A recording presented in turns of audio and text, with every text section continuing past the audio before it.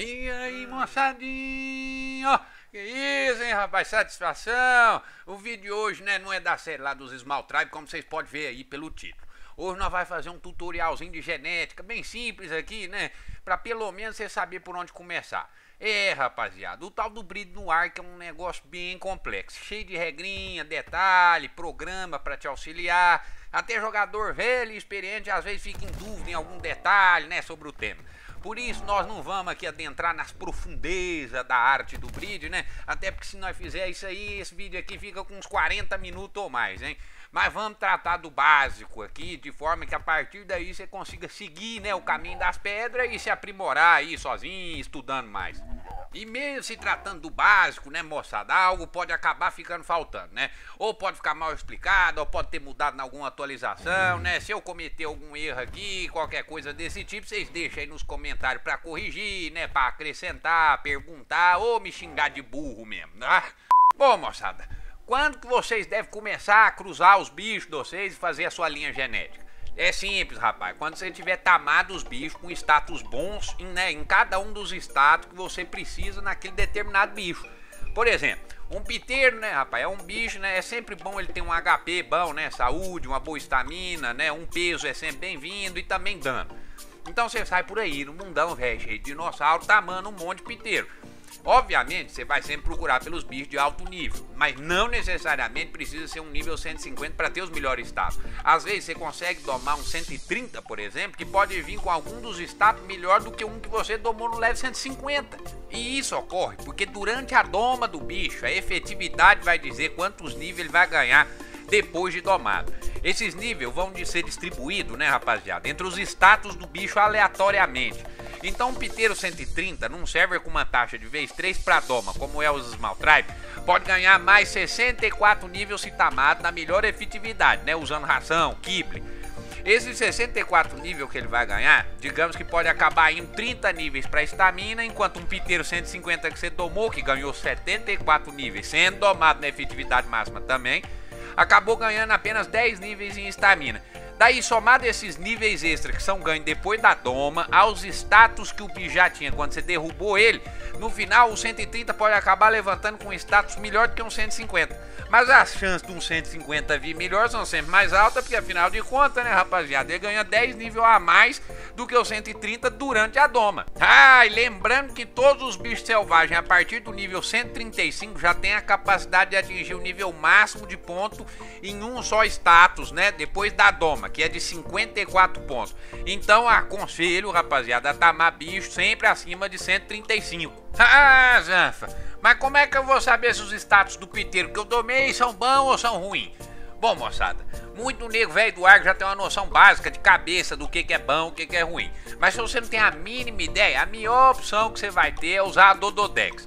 É um site que tem uma calculadora de status que já ajuda bastante. Não é a melhor, mas ajuda. Assim que o bicho que você domou levantar da doma, você vai lá na calculadora da Dododex e coloca o status dele. E a calculadora vai te falar ali quais o status tá bom, tá ruim, tá na média. É uma ferramentazinha bem prática, viu? Vale a pena usar. Porque dessa forma você até vai saber onde é que foram distribuídos os pontos do seu bicho aleatoriamente durante a doma, né? E você vai saber o que, que tá bom e o que, que tá ruim. Lembrando, né, moçada, que pra breed, status e todo esse universo de genética do Ark, tudo que importa são os status do bicho assim que eles são domados ou assim que eles nascem. Tudo depois disso não importa, rapaz. Então não importa se você for lá, upar seu bicho até o level máximo antes de cruzar ele. Nenhum status adicionado depois que ele foi domado ou depois que ele nasceu, né? Tipo os imprint, vai contar alguma coisa. Os status que importam são só os original. Nível não importa pra nada. Nível é apenas um reflexo da quantidade de ponto que ele tem em cada status. Então vamos lá, rapaziada. Agora que vocês já têm tomado os bichos com os status relativamente decentes no que vocês queriam e a Dododex te confirmou isso, então é hora de começar a cruzar eles, né? Pra tentar juntar cada um desses status.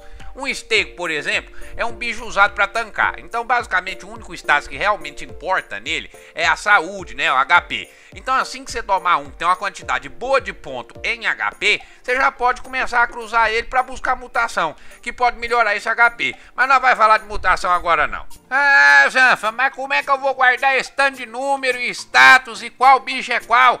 Bom, moçada, essa parte é a parte chata. Os antigos faziam pastinha dentro do bicho, né? E marcava o status deles, né? Assim que domava ou nascia. E dava o nome pro bicho também de acordo com o status dele, tipo assim, estamina e HP. Mas hoje em dia, né, a maioria do pessoal usa os programas externos para auxiliar nessa parte. Como por exemplo o Arc Smart Breed, né, que inclusive você pode exportar os status do seu bicho pelo jogo para esse programa. Tem nega até que usa planilha de Excel, arquivo de texto Word para anotar os status original de cada bicho. Essa parte é vocês aí que decidem. Tem muito tutorial aí no YouTube sobre como usar o Arc Smart Breed. Vale a pena aprender porque é de longe o melhor programa que tem para bridar para quem realmente gosta dessa parte do jogo, hein? Mas vamos voltar pro exemplo dos piteiros, né? Que são uns bichos que tem mais de um status que realmente interessa. Digamos que vocês domou vários piteiros, né? Um deles tem o melhor HP e estamina, o outro tem o melhor dano e um outro tem o melhor peso. Digamos que o que tem HP e estamina é macho e os outros dois são fêmea. Você então vai cruzar o macho de HP e estamina com a fêmea de dano e com a fêmea de peso. Quando fizer isso, existe uma possibilidade de 55% do filhote puxar os melhores status dos pais.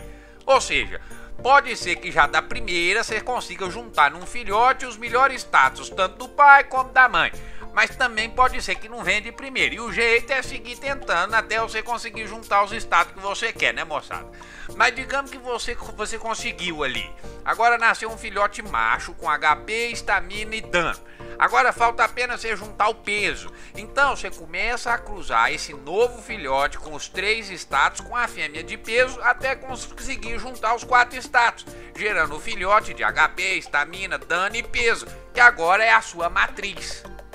A matriz é o seu bicho que tem os melhores status. De preferência, é sempre bom que a matriz seja um macho, porque dessa forma você vai conseguir sempre cruzar seus melhores status com várias fêmeas ao mesmo tempo, né, para tirar um monte de ovo de cada leva.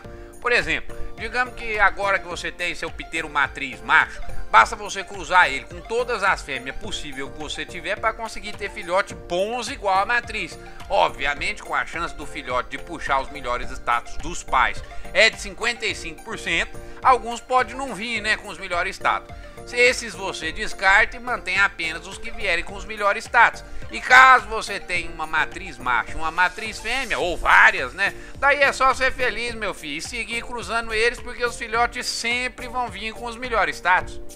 E é nesse ponto que começa a sua busca por mutações, né, para melhorar ainda mais os status dos seus bichos. Mas para falar de mutação eu deixo para outro vídeo, porque esse tema é ainda mais complexo do que esse básico aqui de início sobre genética. Lembrando que ao longo desse processo de juntar status e cruzamento para formar as matrizes, já pode acontecer mutação que melhore em algum status seu bicho. Então deixa seu like aí, se inscreve para não perder os próximos vídeos sobre genética, onde eu vou explicar, rapaz, um pouco mais sobre as mutações e como é que você vai fazer para manter elas, com a possibilidade de continuar elas sempre acontecendo. E espero ter ajudado um pouco esse pequeno tutorial Várzea de genética e dicas de breed, hein moçada? Depois eu faço um vídeo também com dica mais completa, né, de macetes na hora de bridar. Como por exemplo o uso do canguru, a distância que os alimentador pega, tipo de alimento para cada bicho e etc, né? Queria deixar aqui um agradecimento muito grande ao chefe Lúmio, ao senhor Mr. Bean e ao mestre Cláquio, né, pela ajuda nos detalhes desse vídeo. Deixa um salve aí nos comentários agradecendo eles, porque eles ajudaram demais, hein? Fica assim então. Alô!